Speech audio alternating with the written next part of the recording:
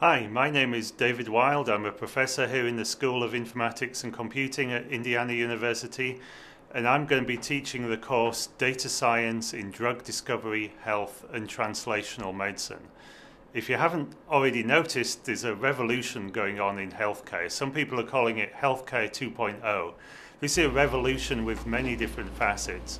Um, in the US here, we're having a huge debate about how to pay for healthcare with an aging population, increasing costs. There's lots of talk about efficiency and how to treat people better but cheaper.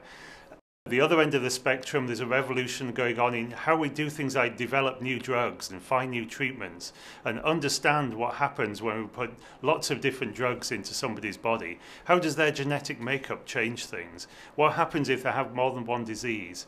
There are lots of questions being asked about healthcare right now. And in this course, we're going to be asking three specific questions that have got to do with data science because you'll find that data is right at the heart of this revolution going going on in healthcare. The first question we're going to ask is how can data science help scientists discover new drugs and reuse old drugs for new conditions? We'll look at ways of using predictive modeling and statistics for predicting what happens when you take a drug and put it in your mouth and swallow it and it goes into the body. Um, not just very reductionist predictions, but predicting the effects of the drug right through the body. The positive effects, helping people get better, and the negative effects, side effects, and toxicity, and so on.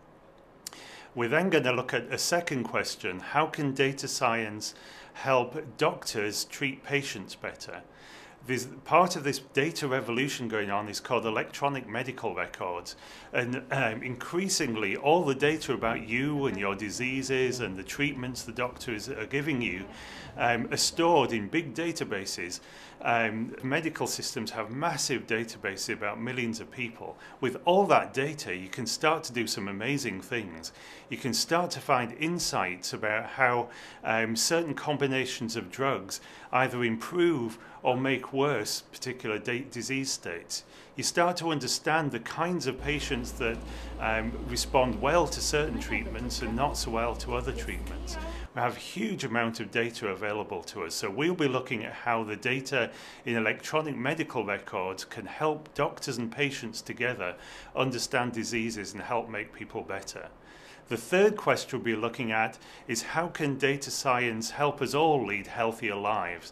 There are major breakthroughs being made in the way that we can understand how small changes to things like nutrition, uh, when we take drugs and how we take drugs and uh, what diseases we have and how we go about responding to those diseases we have um, can make big difference in positive or negative outcomes. So we'll be looking at things like apps that um, are being researched um, that can bring together different kinds of data to help you just make better decisions about things you do in your lives, as well as uh, large-scale insights to how different uh, population groups respond in different ways. So we'll be looking at those three questions. How can data science help researchers develop new drugs and reuse old ones? How can data science help doctors treat patients better? And how can data science help us all lead healthier lives? We'll be using a variety of tools to do this. One of the main ones will be the R statistics modeling package.